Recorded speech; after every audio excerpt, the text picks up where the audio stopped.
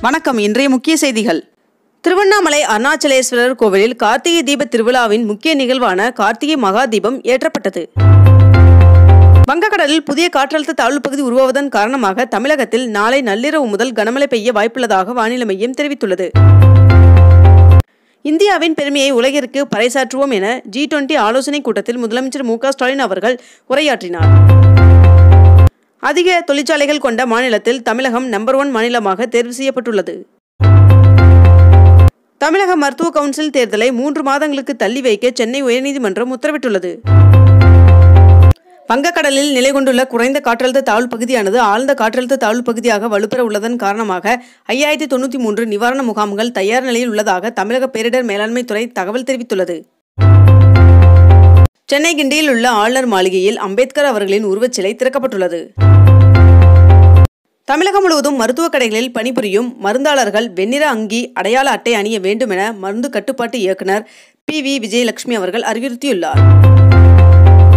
தமிழகத்தில் பொங்கல் பரிசு தொகுப்பு குறித்த அறிவிப்பினை நாளை முதலமைச்சர் மு. க. ஸ்டாலின் அவர்கள் வெளியிடுவார் என்று தகவல் வெளியாகியுள்ளது. ஆழ்ந்த காற்றழுத்த தாழ்வு பகுதி புயலாக மாற வாய்ப்புள்ளதன் காரணமாக டிசம்பர் எட்டு மற்றும் ஒன்பது ஆகிய தேதிகளில் தமிழகத்திற்கு ஆரஞ்ச் அலர்ட் எச்சரிக்கை விடுத்து இந்திய வானிலை மையம் அறிவிப்பை வெளியிட்டுள்ளது. நாளை நாடாளுமன்ற குளிர்கால கூட்டத்தொடர் தொடங்கி டிசம்பர் இருபத்தி ஒன்பதாம் தேதி வரை நடைபெற உள்ளது.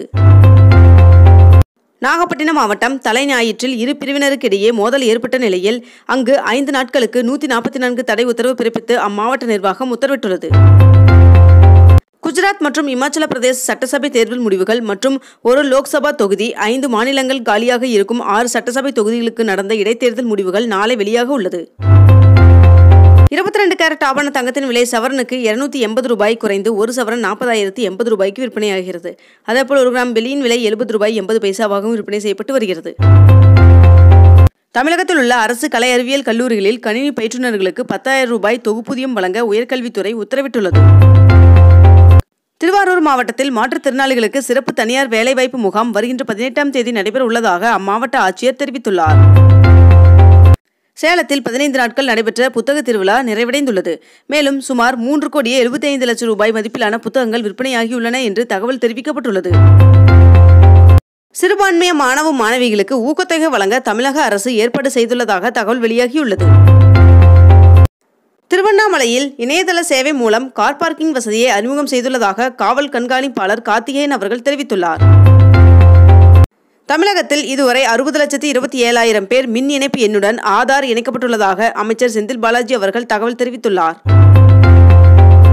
இன்று பாபர் மசூதி இடிப்பு தினத்தை ஒட்டி பல்வேறு மாவட்டங்களில் கண்காணிப்பு தீவிரப்படுத்தப்பட்டுள்ளது. கடலூர் மாவட்டத்தில் உள்ள வீராணம் ஏரி நிரம்பியதால் விவசாயிகள் மகிழ்ச்சியடைந்துள்ளனர். வங்கக்கடலில் தோன்றியுள்ள காற்றழுத்த தாழ்வு காரணமாக மணிக்கு அறுபத்தைந்து கிலோமீட்டர் வரை சூறைக்காற்று வீசும் என்பதன் காரணமாக இன்று முதல் மீனவர்கள் யாரும் கடலுக்கு செல்ல வேண்டாம் என தமிழக அரசு அறிவித்துள்ளது. கார்த்திகை தீப திருவிழாவை முன்னிட்டு டிசம்பர் ஆறாம் தேதியாகி இன்று திருவண்ணாமலை மாவட்டத்தில் உள்ளூர் விடுமுறை அறிவிக்கப்பட்டுள்ளது.